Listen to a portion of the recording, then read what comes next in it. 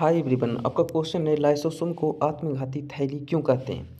देखिए, कोशिकीय उपापचय में व्यवधान के कारण जब कोशिका क्षतिग्रस्त या मृत हो जाती है तो लाइसोसोम फट जाते हैं और एंजाइम अपनी ही कोशिका को पाचित कर देते हैं। इसलिए लाइसोसोम के अंदर लाइसोसोम को लाइसोसोम को को कर दीजिए लाइसोसोम को आत्मघाती थैली कहते हैं। ठीक है सो थैंक यू